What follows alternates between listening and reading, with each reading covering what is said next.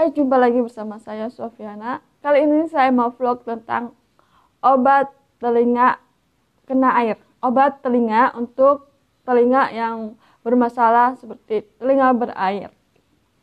Banyak orang pening masalah obat telinga berair. Saya pernah punya masalah tentang telinga berair. Saya hampir prestasi, lalu saya berani beli obat di puskesmas beli obat telinga berair. Harganya murah, sekitar mungkin uang, mungkin harga yang paling mahal 50, harga paling murah 10 ribu uang Indonesia.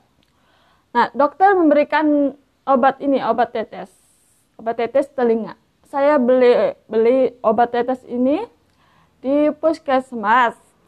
Harganya murah, sekitar 10 ribu sampai 50 ribu lah harganya itu. Obat tetes ini sangat cepat mengobati uh, telinga berair. Dalam tiga tetes telinga berair cepat sembuh. Saya pernah mengalami, bukan sekali dua kali saya pernah mengalami. Kemarin saya mencoba ini karena telinga saya berair, saya bingung juga ya.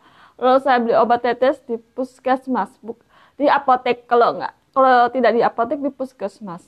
Tapi kemarin saya beli obat tetes ini di apotek harganya ya sekitar 10.000 sampai 50.000 lah. Nah, saya menggunakan obat tetes ini dalam tiga tetes, pagi, siang, sore. Ya, dalam tiga tetes itu mungkin dua hari ya paling lama. Telinga saya cepat sembuh. Cepat sembuh. Cepat sembuh. Jadi tidak lama-lama banget ngobatin telinga berair itu tidak lama. Cepat sembuh di dalam dua hari. Harganya murah obatnya itu obat apa aja ya? Yang penting beli di uh, apotek toko obat puskesmas. Saya pernah beli obat di apotek cepat sembuh. Lalu saya juga dulu pernah dulu waktu saya kecil pergi ke puskesmas dapat obat tetes. Jadi obatnya obat tetes masukin ke telinga gitu ya. Uh, di dalam dua hari cepat sembuh. Nah cara menggunakannya itu sangat mudah ya. Cuman ini dibuka lalu ditetesin tetes. Tunggu sampai dua menit lah biarin ininya banyak atau keluar. Suruh masuk ini airnya masuk ke sini. Tunggu sampai dua menit ya. Kira-kira keluar kan? Ini kan susah. Jadi tidak apa sangat kencang harus airnya masuk banyak banyak. Obatnya ini masuk banyak. Lalu didiemin kira-kira 5 menit atau 10 menit. Biarin ya lama sedikit lah diginiin.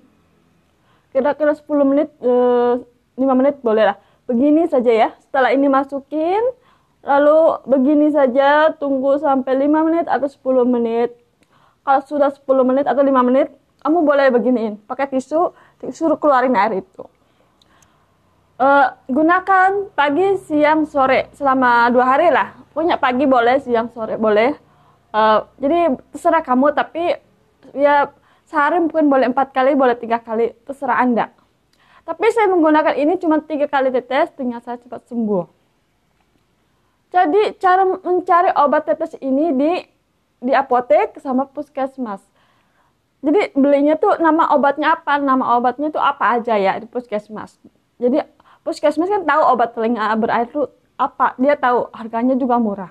Lalu di puskesmas kan beda lagi obatnya ya, obat tetes telinga berair cepat sembuh. Ya sama, dalam dua hari tuh sembuh juga.